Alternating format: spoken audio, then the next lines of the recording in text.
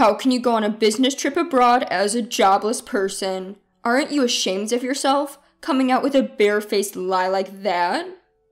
It's not a lie. I really am going overseas for work. Right. Then we're divorcing, liar. With that, he left the room. To him, it seems I, who work from home, might as well be unemployed and lazy. I have a steady income and even contribute to the living expenses, and yet he won't acknowledge that. A few days after I returned from my business trip, I found divorce papers on my desk, already signed. I see. If he can't understand this far, there's no point being a couple, is there? I signed the divorce papers and headed to the state court. My name is Hannah Robinson, 29 years old. My husband's name is Jake, 30 years old. We started dating in college and got married when I was 25. We were more like best friends than lovers, and we always spoke our minds. It might be a good thing, but sometimes things take an unexpected turn. For me, it happened when I discussed my dream with him. My dream is to run an online imported goods store. The opportunity came during my part time job at a boutique when I was a student. Having always liked foreign designs, I was attracted to the charm beyond my part time job. After graduating from college, I aimed to open my own store and became a full time employee at my part time job. Even as a full time employee, I could not give up my dream. I really want to have my own shop. Surrounded by my favorite foreign goods, I want to deliver them to my customers. My parents and friends gave me warm words like good luck and you will surely succeed. Jake will definitely understand my dream and support me. So I tried to bring up the topic subtly to Jake when he returned from work.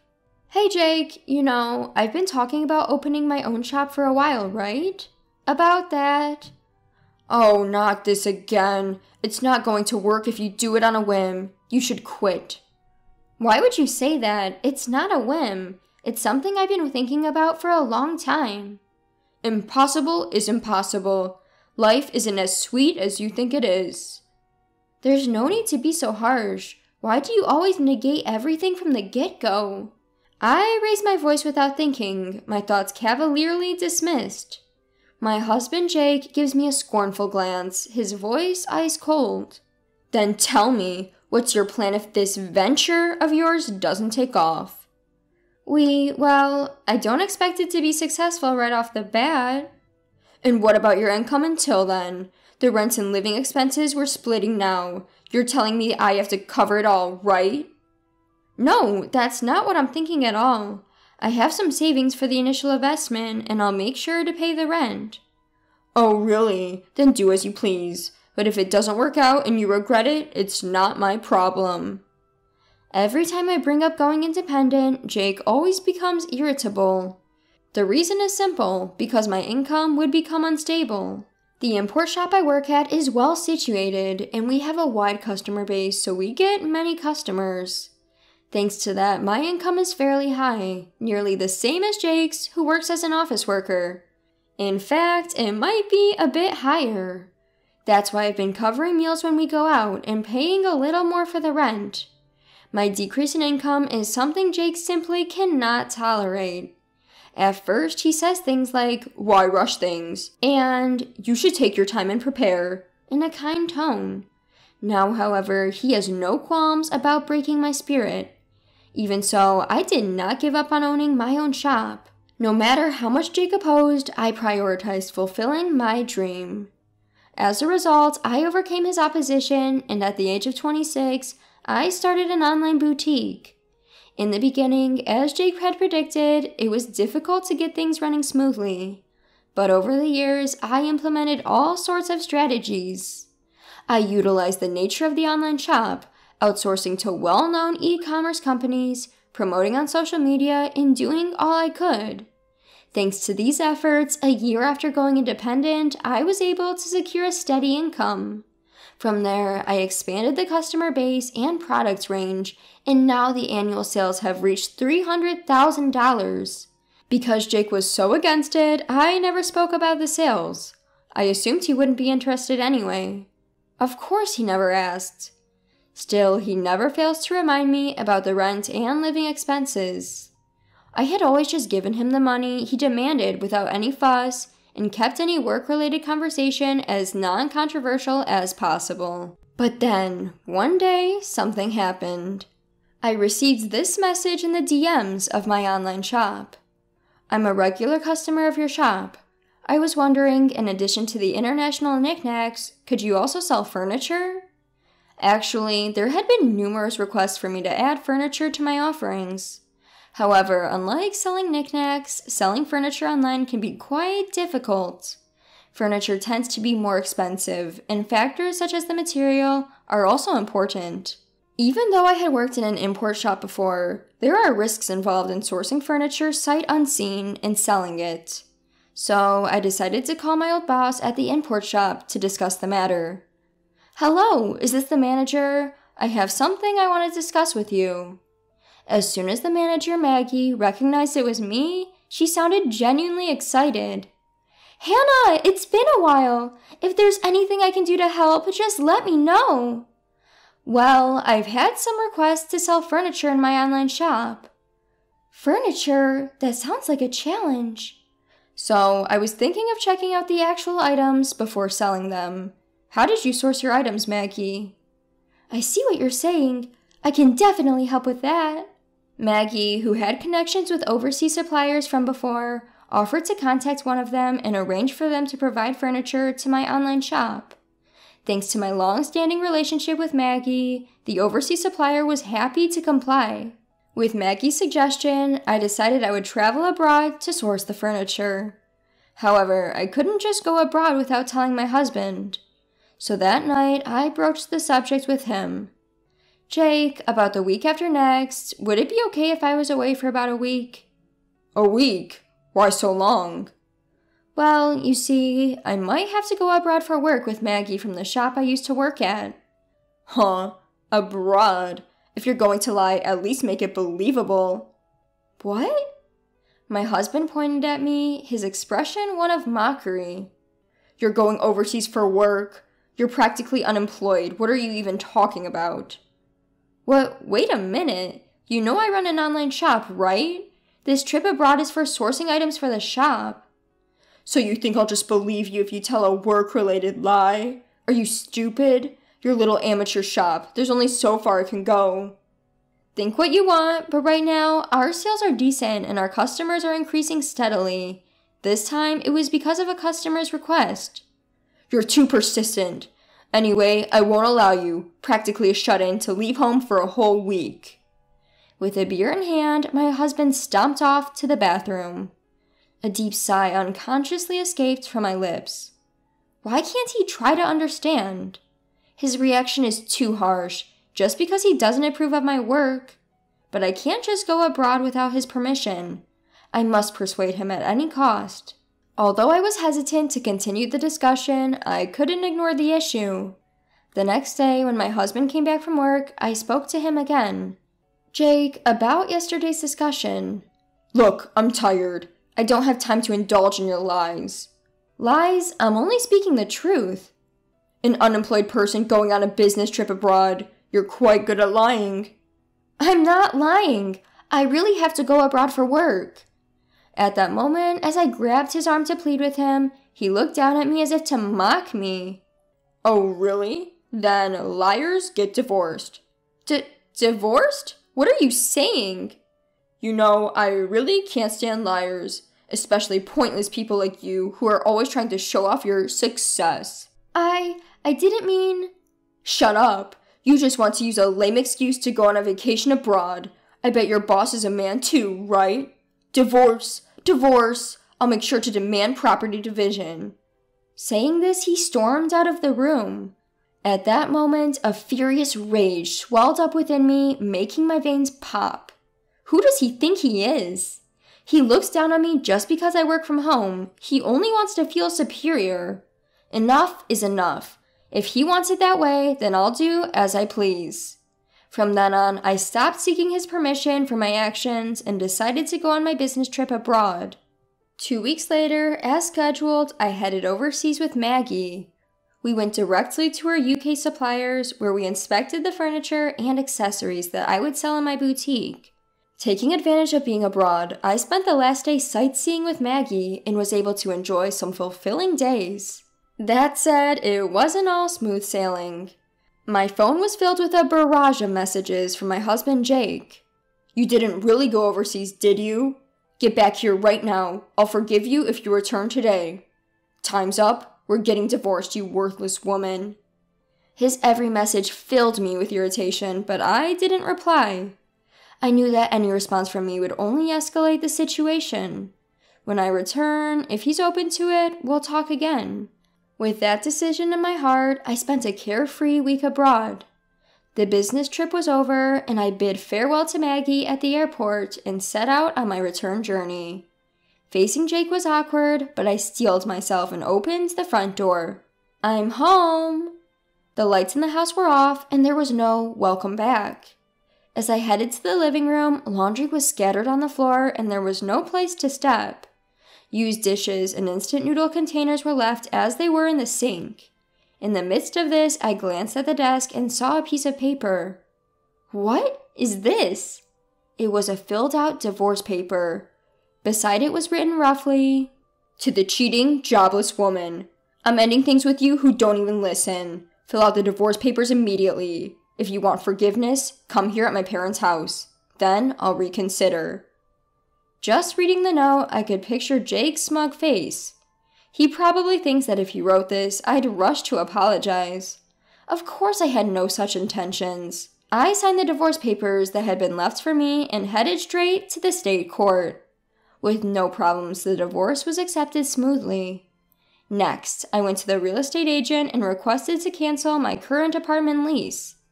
Actually, the place I'm living now is the apartment I lived in when I was single. Jake moved in when we started living together because it was spacious enough. We had talked about moving to a bigger place once we have kids, but there's no need for that now. After finishing the lease cancellation, I immediately started packing up. The next day, I sent all my belongings back to my parents' house and scheduled Jake's belongings to be delivered to his parents' house. All the while, he continued to send me messages filled with absurd demands. Stop being stubborn and come apologize now. You have until the end of the week, you hear? And so on. Of course, I ignored all of them, and after emptying the apartment, I headed back to my parents' home. A week later, my phone had been ringing nonstop since morning. Even though I ignored it, it just wouldn't stop ringing, so I reluctantly decided to answer. Planning for this call to be the last, I pressed the answer button. Hello? He started shouting at me right off the bat. What the hell do you think you're doing? Taken aback by his loud voice, I instinctively pulled my phone away from my ear. I decided to record the conversation just in case, and then I spoke again. What's the big deal? There's nothing left to talk about. Don't mess with me. Why all of my belongings were delivered to my parents' house? I just got to the apartment and it's completely empty. Oh, that? Well, I canceled the lease, so I had to get rid of everything, right? What? Canceled? You. How dare you do something like that on your own? On my own? The apartment was in my name. I can do whatever I want with it, can I? At this point, I had nothing left to lose. To me, his words had no effect at all. As I responded in a provocative tone, Jake showed his irritation. Don't mess around. I don't give a damn about the lease. We were married, remember? I lived in that apartment too. You just went and canceled it on your own. Married? Yes, damn it. Whether you cheated or not, we're still married. Canceling the lease on our apartment without discussing it with your husband. What the hell are you thinking? You think you can just do whatever you want, even though you're unemployed. I'll never forgive you for this. He raged on, showing no consideration for my feelings whatsoever. That rant doesn't even care about me anymore. I decided to let him know the truth. Um, sorry to burst your bubble while you're getting all fired up about not forgiving me, but we're not married anymore, okay? What? What are you talking about? I submitted the divorce papers you left behind, so we're strangers now. Why should I continue renting a place for a stranger?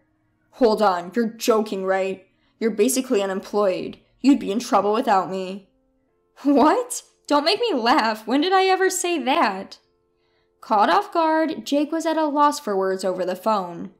Seizing the opportunity to vent my pent up frustration, I blurted out, You've really looked down on me all this time. I'm not the unemployed or jobless person you think I am. I didn't cheat on you. I was traveling abroad for work to cater to my clients. If you can't believe that, that's fine. But just so you know, I'll never forgive you. Whoa, wait a minute. But your online store, it's not like the sales can just increase that. I've been working my butt off for the past three years. You don't know anything and didn't even try to understand, yet you keep making assumptions. Three years? Just so you know, I've been making many times more than you. You looked down and belittled me. I don't want a marriage like this. You can live a miserable life on your own for all I care.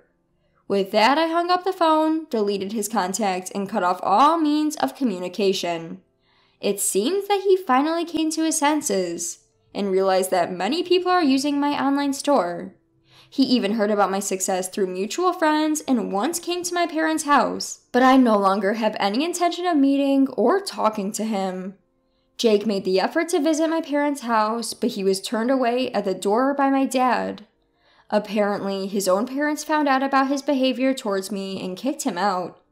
Now, I heard he's renting an apartment near his workplace and just shuffling between home and work alone. As for me, I decided to live with my parents for a while.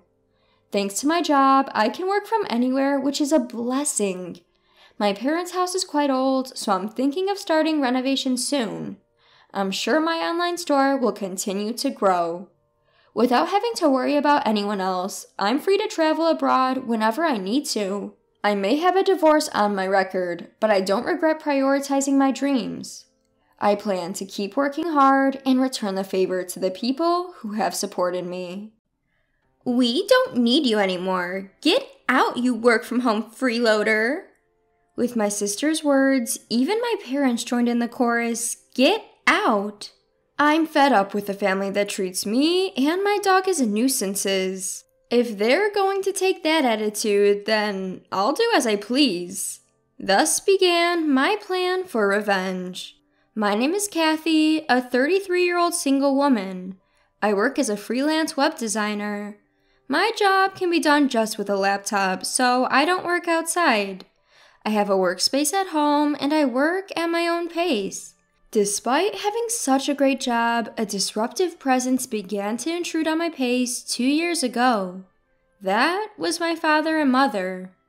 One day, while I was working at home, my parents visited me. As soon as they entered the house, they looked around the room and started this conversation. Mom, this house really is big. It seems like we could live here too. That's right. It seems there's even a spare room. Besides, it's a waste for Kathy to live in such a good house by herself. Yeah, let's move in this weekend. Agreed, let's do that. Ignoring my presence, my parents decided everything by themselves. I had no intention of living with them and told them clearly, Wait a minute, I have no intention of living with you guys. What are you saying? My father, his face turning red, yelled at me. This house was taken over by you, saying you wanted it from your uncle, trying to make it yours. There's a limit to how low you can go. Take over? I just had a proper conversation with Uncle and he gave it to me. Don't make excuses. Anyway, our old house is falling apart. Your mother and I are moving here this weekend.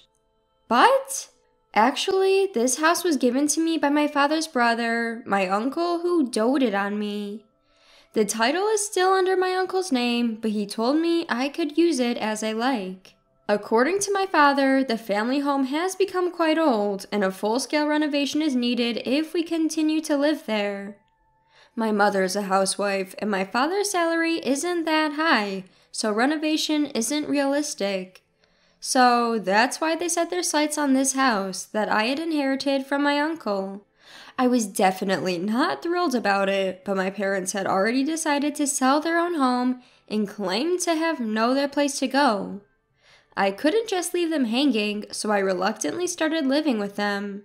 However, the moment they moved in, my parents began throwing sarcastic comments my way.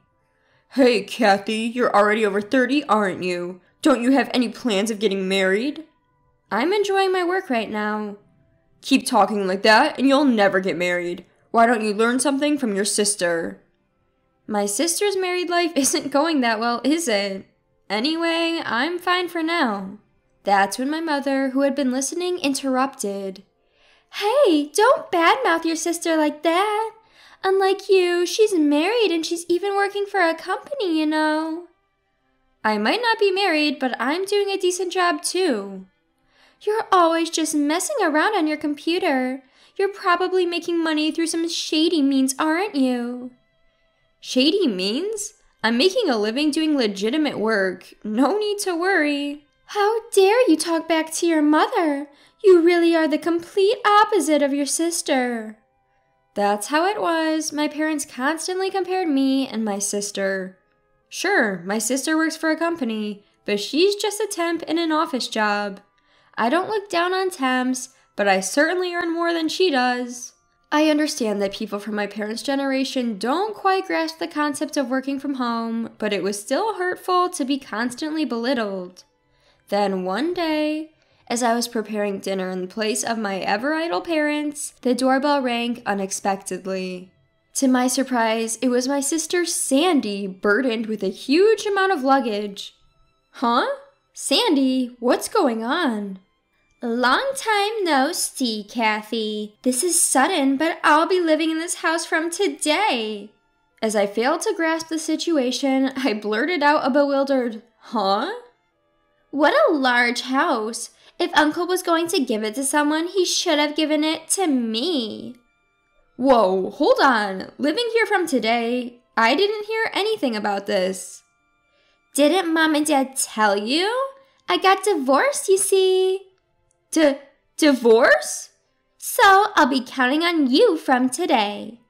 Ignoring my shock, Sandy trudged upstairs and promptly took over an empty room. Despite my best efforts to resist, my parents sided with my sister Sandy, and I couldn't do anything about it. From that moment, my stress just kept piling up. Sandy had quit her job after her divorce, spending her days talking ill of me with our mother. Hey, Mom, isn't this dress cute? Oh, yes, indeed. Sandy, you're so pretty, it will definitely suit you. Do you think so, too? It's totally not something Kathy would wear, right? Well, Kathy is a bit plain, you see. That's why she can't get hired anywhere. All she can do is play online at home.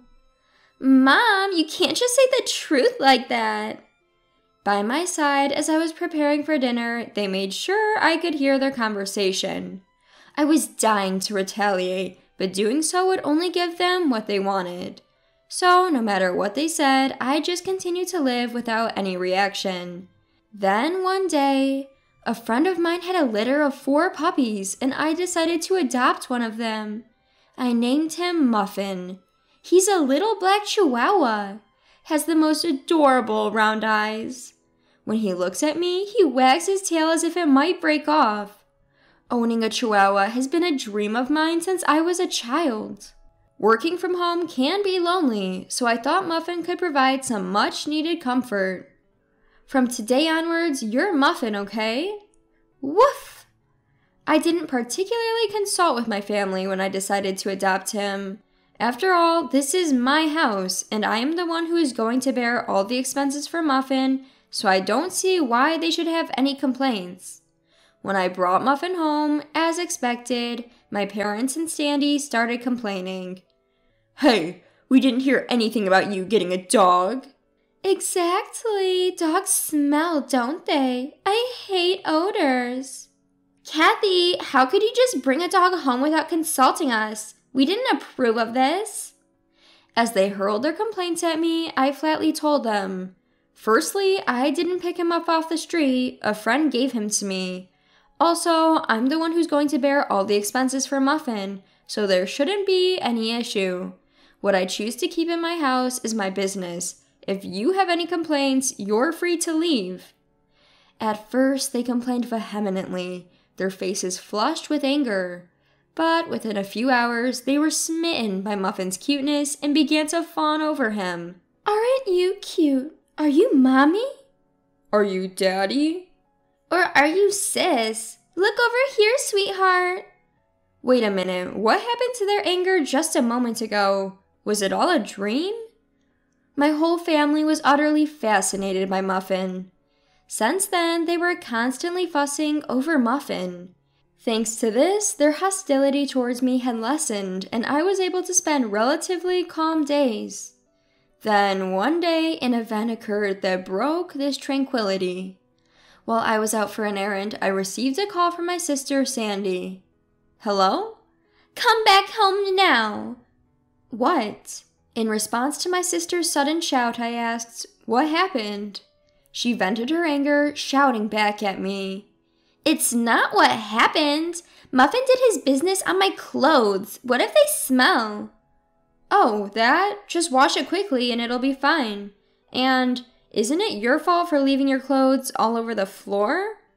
What? It's my fault. It's your poor training that's to blame. Enough. Muffin is still a puppy, you know. If you take him out for a walk, he won't do his business at home.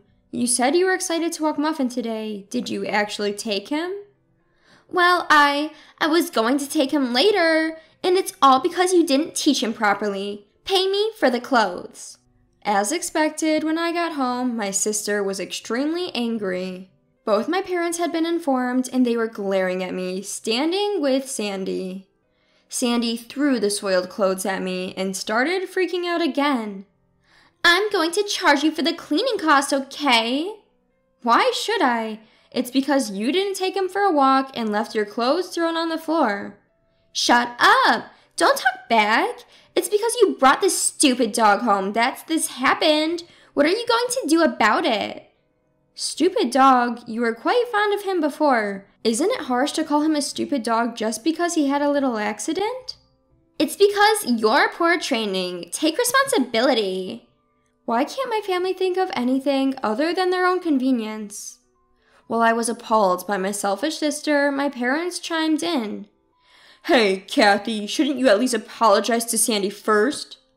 That's right. All of this happened because of that muffin you brought home. Uh? Can both of you give it a rest already?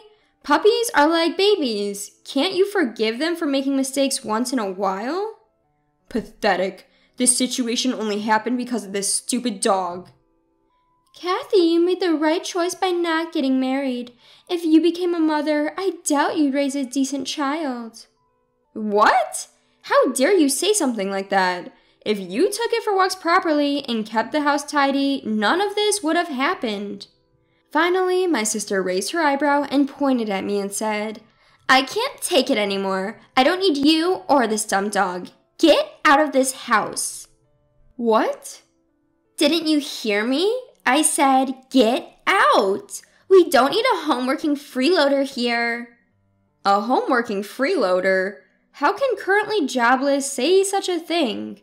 And who do they think is paying for this household expenses? It's me.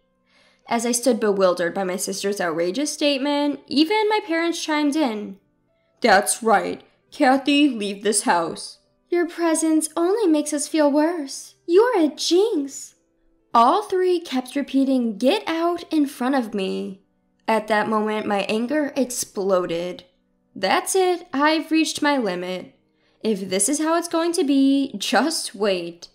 I, who had decided to take revenge on my family, packed my things and left the house with Muffin. In the end, my sister added fuel to the fire. This is all your fault, you know. If you had just listened to me obediently, none of this would have happened. They still don't seem to understand their situation, even though hell awaits them. Well, never mind. You three enjoy yourselves in that house. Suppressing my grinning mouth, I left the house with Muffin. A few days later, as expected, my sister suddenly called. Kathy, help! The house is. What happened to the house? All of a sudden, we were told, leave by the end of this month. Hmm, so? What? So, what's the problem? What do you mean, what's the problem? Why do we have to leave? Well, I've decided to sell the house. What? At my words, Sandy seemed to freeze. With a trembling voice, she barely managed to get the words out. What? What? What does that mean? You've decided to sell it? You don't have the authority? Well, I do. You see, that house has been mine a month ago. What? Yes, I had officially received the house from my uncle. Of course, the title is in my name. It's no surprise that Sandy was shocked. I hadn't told anyone about this. You're you're kidding, right? Even if the title was transferred to you by uncle, you can't just sell it so easily. I was worried too, but right after you told me to leave, I consulted with uncle. He said, The house is yours now, Kathy. Do what you want. You should get away from that stupid family as soon as possible. What? No way. Whether they'd been listening to my conversation with Sandy over the phone speaker or not, my parents started to make a fuss. Hey, Kathy, cut it out. We have no other place to live if we leave the house.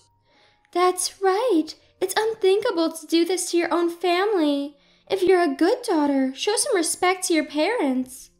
Respect? I asked them with a quiet voice. What are you talking about? You've always looked down on me compared to Sandy. Who do you think has been supporting your life for the past few years? You all had nowhere to live, so I reluctantly let you all live with me. With an unusually strong tone, my parents were at a loss for words. Without waiting for a response, I continued. Who treated me and Muffin like nuisances and kicked us out? It was you guys, wasn't it? Trying to be happy by driving out the original resident is shameless. You people belong to hell. At my outburst, my father begged, Please help us. We're sorry. I don't care. Fend for yourselves, you idiots. With that, I hung up the phone with a loud click. Next, I blocked every family member's contact. Seeing me raise my voice, Muffin looked up at me with a worried woof. I held Muffin close. I'm sorry, Muffin, for shouting. It's all right now. I will protect you. I'm really glad that I was able to get Muffin away from that family that treated him so poorly. Later on, it seems my parents and sister were forced to move out of the house at the last minute despite their desperate clinging. With my father's meager income and my unemployed mother and sister, there's no way they can lead a decent life. According to the rumors, my sister is constantly being nagged by my parents to get a job. Their family relationship seems to be getting worse by the day. Although I have no interest in how they live, there's no doubt that their standard of living has plummeted since I left. This is indeed the case of reaping what you sow. Serves them right.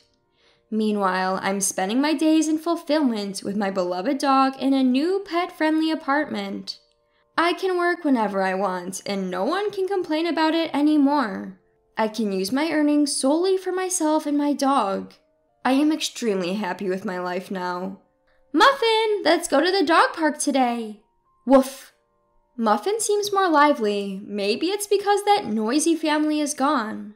From now on, I want to protect Muffin for the rest of my life and lead a peaceful life.